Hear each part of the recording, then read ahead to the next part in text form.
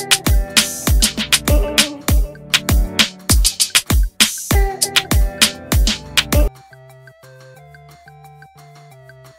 อค้าเล้งเปิดใจหลังขายในงานดนตรีดังเจ๊งยับเห็นของจริงอึ้งแถมโดดดีดจากกลุ่มไลน์พ่อค้าเล้งเปิดใจหลังขายในงานดนตรีดังลงทุนกว่า 2 0 0แสนเจ๊งยับเห็นของจริงอึ้งไม่ใช่อย่างที่ทีมงานการันตี แถมโดนดีดจากกลุ่มไลน์จากกรณีพ่อค้าเล้งแซบไปขายภายในงาน Big Mountain ที่จังหวัดนครราชสีมา ซึ่งลงทุนไปกว่า 2 0 0แสนค่าที่ 50,000 และเป็นเงินที่กู้เขามาสุดท้ายขาดทุนยับล่าสุดวันที่ 15 ธันวาคม 65 ผู้สื่อข่าวได้เดินทางไปที่ตลาดเซฟวันตำบลในเมืองอำเภอเมืองจังหวัดนครราชสีมา พบกับนายสุภกรธนัชชัยการอายุ 40 ปี ซึ่งเป็นเจ้าของโพสต์และเป็นเจ้าของร้านซูเปอร์เล้งแซบอร่อยม่อร้อง โดยกำลังทำการจัดเตรียมร้านเพื่อที่จะขายให้กับลูกค้าที่มาเดินช้อปปิ้งในตลาดเซฟวันเหมือนปกติทุกวัน นายสุภกรกล่าวว่าสาเหตุที่ตนโพสต์เรื่องดังกล่าวเนื่องจากอัดอั้นหลังจากขายของในงาน Big Mountain เสร็จในคืนสุดท้าย ซึ่งความเป็นมาของเรื่องนี้ก่อนหน้านั้นได้มีผู้อ้างว่าเป็นทีมจัดงาน Big Mountain มาคัดเลือกร้านค้าที่จะไปขายภายในงาน โดยมาสอบถามว่าร้านของตนสนใจที่จะไปขายในงานนี้หรือไม่ ซึ่งตนก็ถามว่าจะให้ไปขายอะไรเขาบอกว่าคัดเลือกจากร้านขายต้มเล้ง ก็จะให้ตนไปเปิดขายต้มเล้ง โดยเขาอ้างว่างานนี้จะมีคนเข้าชมเป็นจำนวนมาก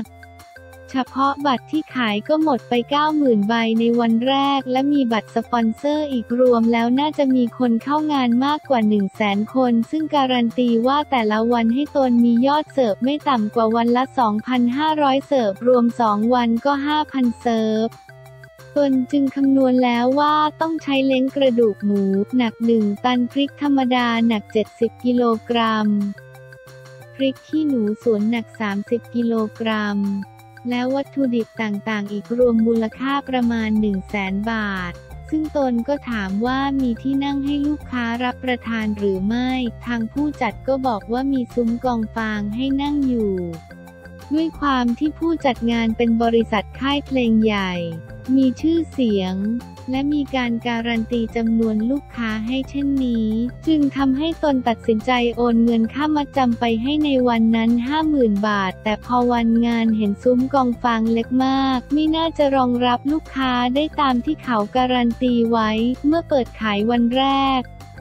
ปรากฏว่าขายไม่ได้เลย เพราะลูกค้าไม่มีที่นั่งทำให้วันต่อมาตนต้องเปลี่ยนไปทำผัดกระเพราเล้งใส่กล่องขาย ให้ลูกค้าสามารถถือเดินไปรับประทานได้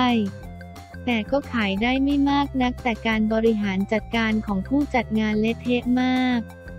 แม้แต่น้ำเปล่าและน้ำแข็งที่ตนต้องเอามาแช่วัตถุดิบ ก็ไม่สามารถนำมาส่งให้ได้ เพราะเขาไม่อนุญาตให้รถยนต์เข้ามาภายในบริเวณงานเลย คนส่งน้ำส่งน้ำแข็งต้องใช้รถเข็นส่งแทน ซึ่งร้านมีอยู่จำนวนมากกว่า 120 ร้านและตั้งอยู่ห่างไกลมากกว่าร้านน้ำแข็งจะส่งให้ครบทุกร้านก็ทำให้ของสดมีกลิ่นแล้ว กว่าจะมีน้ำเตรียมอุปกรณ์ต้มเล้งได้ก็ช่วงกลางคืนแล้วคนก็ไม่นั่งกินเตรียมไปดูดนตรีกันแล้ว โดยก่อนไปขายในงานตนต้องไปกู้เงินบัตรเครดิตนำทองไปจำนำเพื่อจ่ายค่าเช่าที่ค่าวัตถุดิบค่าคนงานรวมเบ็ดเสร็จแล้วลงทุนไปกว่า 2 0 0แสนบาท แต่พอขายวันสุดท้ายมานับเงินได้เพียง40,000กว่าบาทเท่านั้น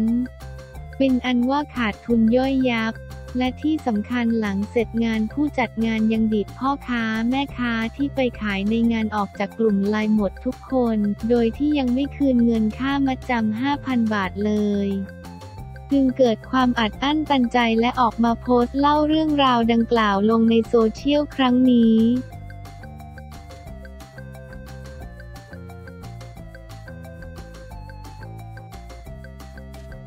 พระองค์พา เสด็จเปิดโครงการกำลังใจ ทรงห่วงใยความเป็นอยู่ผู้ต้องขังในเรือนจำนงราธิวาสเมื่อเวลา 11นาฬิกา45 นาทีวันที่ 3 พฤษภาคม พระเจ้าหลานเธอพระองค์เจ้าพัชรกิติยาภาเสด็จถึงท่าอากาศยานจังหวัดนราธิวาส โดยเครื่องบินที่นั่งเที่ยวบินพิเศษ ซึ่งกองทัพบบกจัดถวายเพื่อปฏิบัติพระกรณียกิจในพื้นที่จังหวัดนราธิวาส โดยมีนายสุรพรพร้อมมูลผู้ว่าราชการจังหวัดนราธิวาสตลอดจนข้าราชการชั้นผู้ใหญ่ข้าราชการประจำหน่วยงานราชการ เจ้าหน้าที่และประชาชนร่วมเฝ้ารับเสด็จจากนั้นเสด็จโดยรถยนต์ที่นั่งไปยังพุทธมณฑลจังหวัดนราธิวาสเพื่อสักการะพระพุทธทักษิณมิ่งมงคล ซึ่งเป็นพระพุทธรูปคู่บ้านคู่เมืองของประชาชนในพื้นที่จังหวัดนราธิวาส จากนั้นเสด็จโดยรถยนต์ที่นั่งไปยังร้านอาหารมันตรา เขตเทศบาลเมืองนราธิวาส เพื่อเสวยพระกรยาหารกลางวัน ต่อมาเวลา 13นาฬิกา45 นาทีพระเจ้าหลานเธอพระองค์เจ้าพัชรกิติยาภาเสด็จโดยรถยนต์ที่นั่งถึงเรือนจำจังหวัดนราธิวาส ทรงเปิดโครงการกำลังใจในพระดำริพระเจ้าหลานเธอ ระองค์เจ้าพัชรกิติยาภาโดยมีพลอากาศเอกประจินจันตองรองนายกรัฐมนตรีและรัฐมนตรีว่าการกระทรวงยุติธรรม กราบทูลถึงวัตถุประสงค์ของโครงการ และทูลเชิญทอดพระเนตรวีดิทัศน์ผลการดำเนินงานตามโครงการ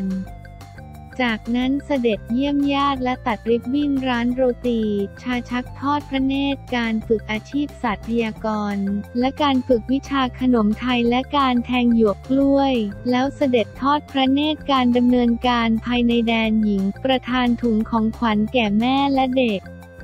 เปิดมุมปลูกกฎหมายทอดพระเนตรการแสดงของผู้ต้องขังชายและหญิง และทรงร่วมตัดสินการชงชาชักรอบตัดสิน ซึ่งมีทั้งหมด 5 ทีมประธานรางวัลให้แก่ผู้เข้าร่วมแข่งขันชาชักประธานไก่ทอดให้ตัวแทนผู้ต้องขังประธานผ้าปูละหมาดให้ตัวแทนผู้ต้องขัง ประธานหมวกผ้าถุงเสื้อให้ตัวแทนผู้ต้องขังในการประกอบพิธีทางศาสนาสำหรับเรือนจำจังหวัดนราธิวาสตั้งอยู่ถนนสุริยประดิษฐ์เขตเทศบาลเมืองนราธิวาส มีเนื้อที่กว่า4ไร่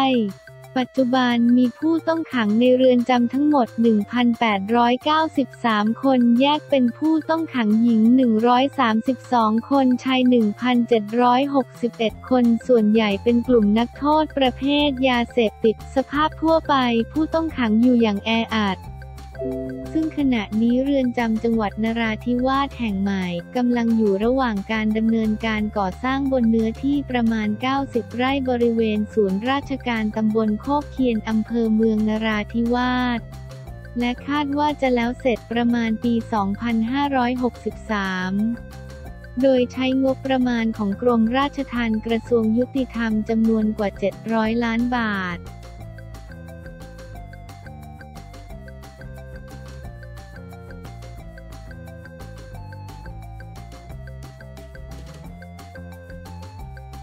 สถานทูตอเมริกาถวายพระพรเจ้าฟ้าพัชรกิติยาภาหายจากพระอาการประชวรสถานทูตอเมริกาประจำประเทศไทยโพสต์เฟซบุ๊กถวายพระพรเจ้าฟ้าพัชรกิติยาภาหายจากพระอาการประชวรและมีพระพลานามัยแข็งแรงสมบูรณ์โดยเร็ววัน วันที่ 15 ธันวาคม 2565 สถานทูตสหรัฐอเมริกาประจำประเทศไทยได้โพสต์ข้อความ สถานเอกอัครราชทูตสหรัฐอเมริกา ประจำประเทศไทยขอให้สมเด็จพระเจ้าลูกเธอเจ้าฟ้าพัชรกิติยาภานเรนทิรา เทพยวดี กรมหลวงราชสารินี สิริพัชระ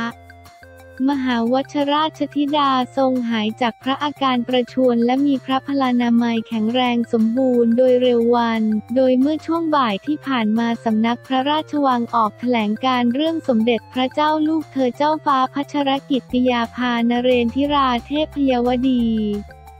กรมหลวงราชสารินี สิริพัชรมหาวชราชธิดา ทรงพระประชวรเข้ารับการรักษาพระองค์ณโรงพยาบาลจุฬาลงกรณ์สภากาชาติไทยเพื่อถวายการตรวจพระวรกายอย่างละเอียด และประทับรักษาพระองค์ต่อไปทั้งนี้สภากาชาติไทยได้เปิดลงนามถวายพระพร ตั้งแต่วันที่ 16 ธันวาคม ตั้งแต่เวลา 8 นาฬิกาถึง 16 นาฬิกาณชั้น 1 อาคารภูมิสิริมังคลานุสรโรงพยาบาลจุฬาลงกรณ์สภากาชาติไทยไม่เว้นวันหยุดราชการ